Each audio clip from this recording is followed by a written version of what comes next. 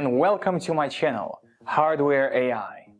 This week I went to 12's AGI conference here in Shenzhen.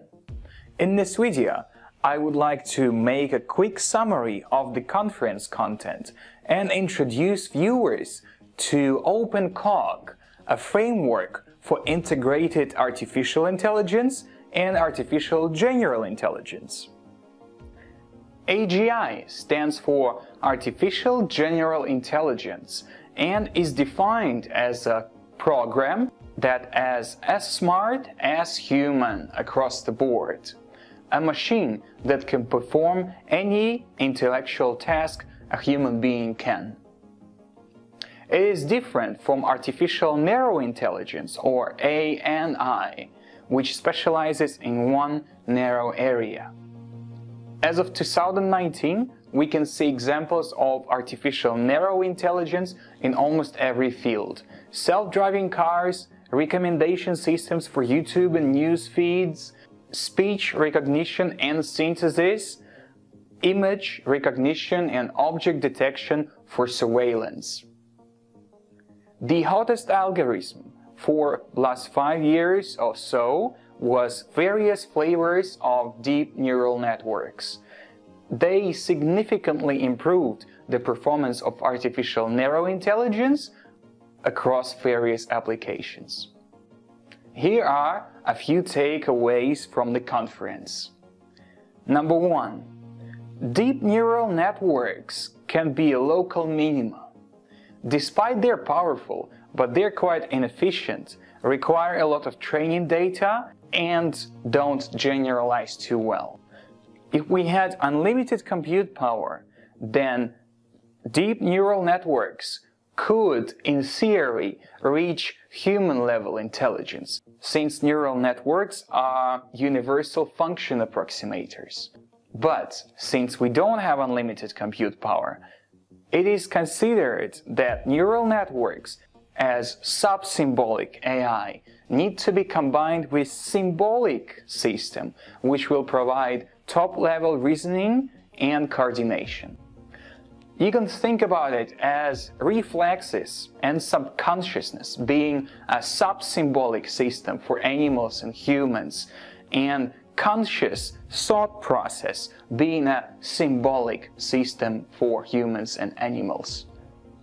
There are AGI optimists and AGI pessimists in relation to the time needed to reach human-level intelligence in the machines. According to optimistic estimations, we might see some forms of systems that exhibit logic and reasoning, albeit limited, within next five years. And it would take us about another 10 to 20 years to get to real AGI level. It's hard to predict the future, but seeing how Google acquired DeepMind and Microsoft invested $1 billion in OpenAI, it seems that the general consensus in the industry that we will develop artificial general intelligence within my generation's lifetime.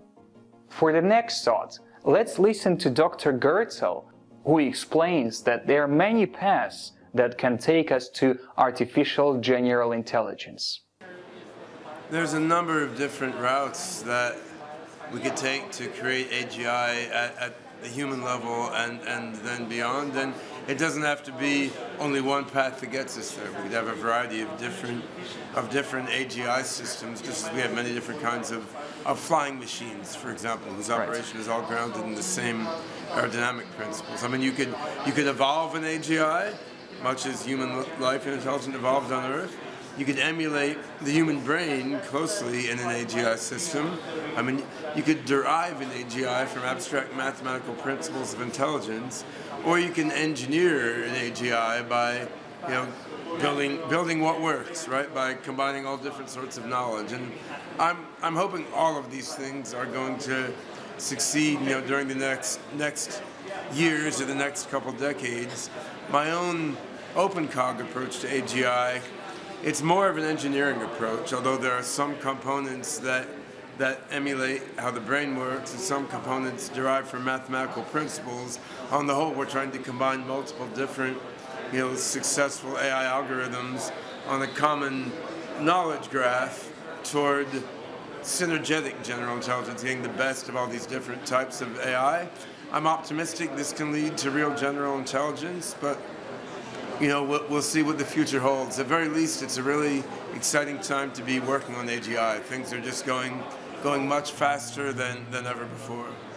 Out of those different paths to AGI, Dr. Goertzel mentioned a few were discussed in presentations during the conference.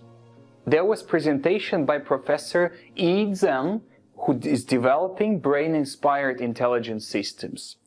Harri Valpola from Finland, whose Curious AI company is using unsupervised learning approach to make AI systems generalize and reason better, and a presentation from Hugo Latapie, CTO of NDS Americas, now a part of Cisco, where they use NARS, or non-axiomatic reasoning system, combined with deep learning for various computer vision and environment monitoring applications.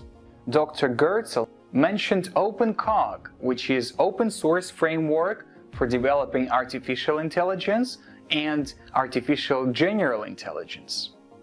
It combines a hypergraph database called AtomSpace, which is used for representing knowledge and algorithm, PLN, a probabilistic reasoning and inference system, attention allocation mechanism, and other elements.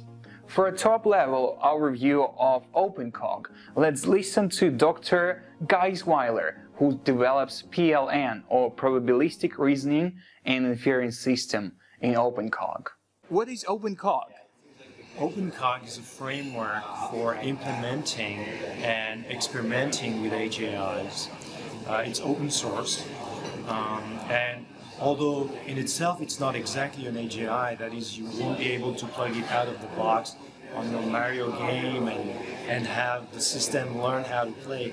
You can play and uh, put together something that is going to uh, do some AGI-ish things.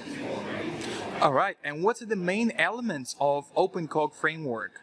So the central element is the atom space, which is a uh, an hypergraph in uh, knowledge store, uh, and then we have mind agents that can operate on this atom space to, for instance, uh, perform learning, reasoning, um, maybe uh, gather data from perceptions and, and things like that. All right, and uh, how the users can get started with OpenCog? Um, so we have uh, a website, opencog.org, and from there you can get to the wiki where uh, you have uh, a lot of knowledge about the system, including tutorials. Um, we also have uh, the code is open source on GitHub. Uh, the best way to start is probably to go to uh, um, to start with the Atom Space repository, and from there um, you're going to be able to uh, have the knowledge to uh, go further. Personally, I very much like this project, since it might be the only open source platform for building artificial general intelligence. OpenAI has recently shifted towards more commercial applications, and uh, DeepMind, well, DeepMind is part of Google. If you're interested in developing intelligent systems and robots, I encourage you to have a look at OpenCog GitHub repository.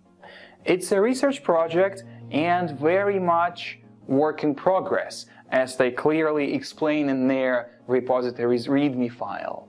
It was mentioned during the conference that OpenCog team would welcome contributors and people who would like to use OpenCog to build practical applications. I myself will have a good look at the chatbot and conversational system of OpenCog and see if I can use it in my future robotics projects.